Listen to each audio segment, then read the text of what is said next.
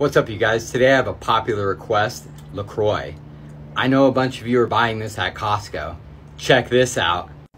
What's up, you guys? So, LaCroix, very popular.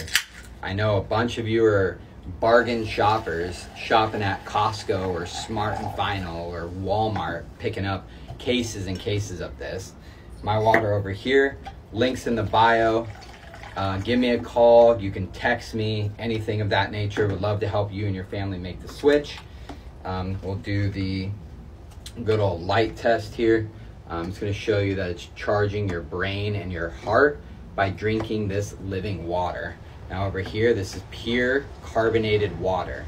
It's straight dead. It's not doing anything for your brain, your heart, your cells, your body, nothing but running up the bill at the doctors.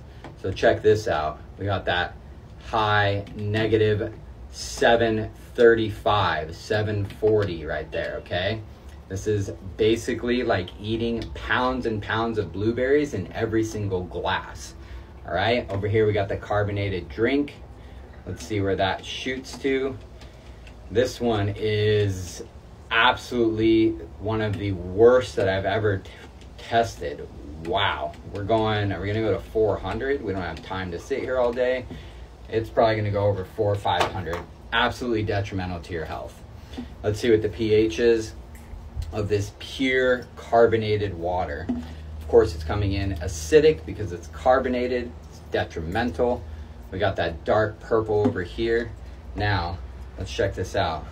If you change your water, but you're drinking the wrong stuff, look at that. It tries, but it's not. Look at that. It's carbonation. Just horrible for your body. Absolutely detrimental. Check this out.